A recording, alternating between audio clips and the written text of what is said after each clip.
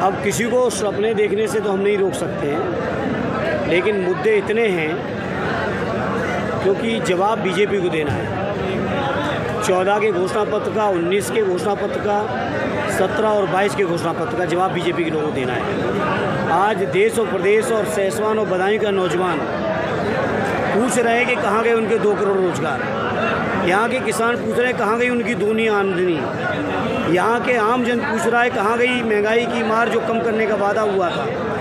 लोग पूछ रहे हैं, जो लोग कहते थे कि देश नहीं बिकने दूँगा, आखिर पूरे देश को क्यों बेच डाला? लोग जानना चाहते हैं, आखिर स्विस बैंक का पैसा कब आया और कब, कहाँ गया? तो सवाल तो जनता के बीच बहुत हैं, और बीजेपी के लोगों ने कुछ किया नहीं है, और जनता इस बार जवाब देगी। सदन के अंदर साथ जो घटना घटी गई उस पर बलूकर सिंह भाजपा का समर्थन संसद के अंदर जो हुआ, मुझे पंद्रह साल खुद भी सौभाग्य मिला संसद में बैठने का। और पूरे संसद के इतिहास को जानता हूँ, समझता हूँ। पचहत्तर साल की आज़ादी के बाद भी कभी ऐसा नहीं हुआ। जहाँ नई संसद के उद्घाटन के समय माननीय प्रधानमंत्री जी आचरण के ऊपर अपनी बयान दे रहे थे निर्देश दे रहे थे।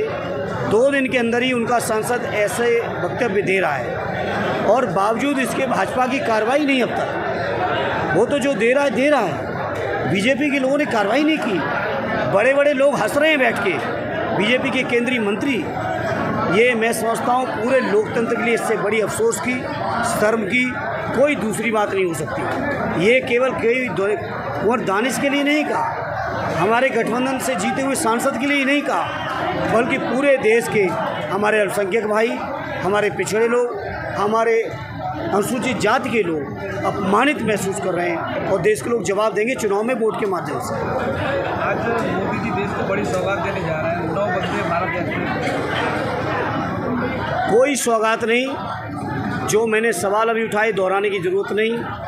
प्रधानमंत्री जी इन बातों का जवाब दें। जो बातें चौदह से करते चले आ रहे हैं, आखिर वो बातें कितनी पूरी की? जनता सब देख रही है। और जवाब देगी।